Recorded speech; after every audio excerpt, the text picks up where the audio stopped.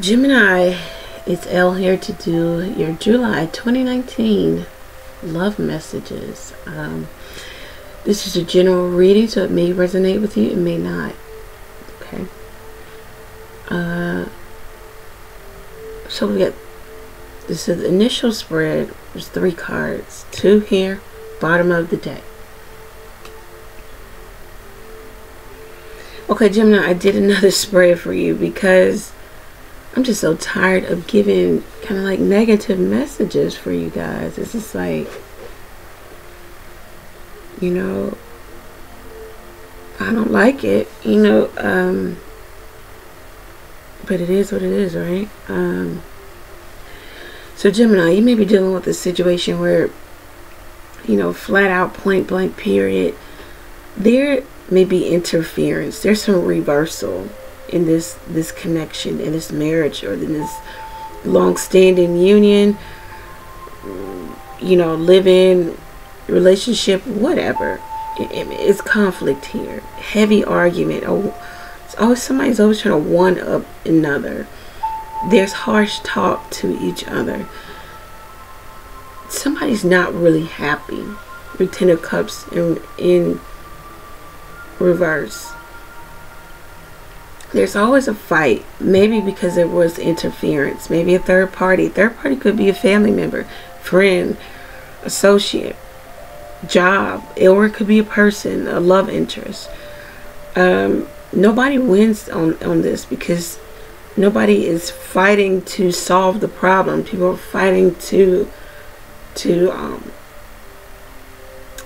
the word was just right in the forefront of my mind.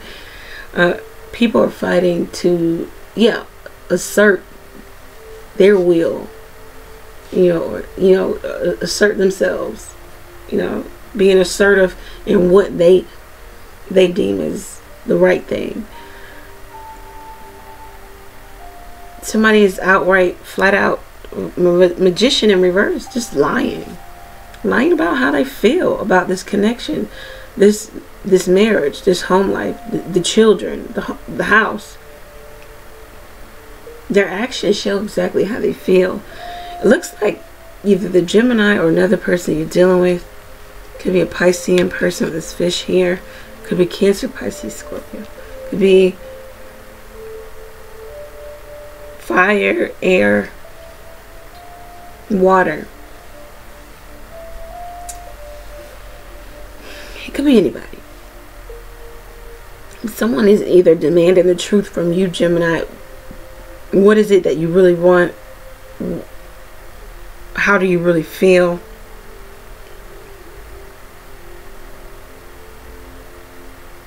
Because they're tired of the conflict within this union. They're tired of the childishness, the games, the drama.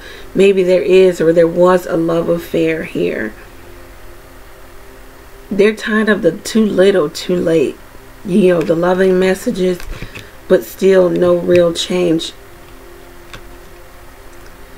The Ace of Swords at the bottom of this deck. Someone wants to, you to be very clear, very frank with them. Somebody also dealing with is not showing their true colors. They're not really happy with you, Gemini. Um, also, Gemini, you may give loving messages to someone or vice versa and, and you are always met with confrontation, pettiness, and argument. So that shows you exactly where they are mentally with you. Okay? Or vice versa. You do this to the other person. So Gemini, man, this is tough.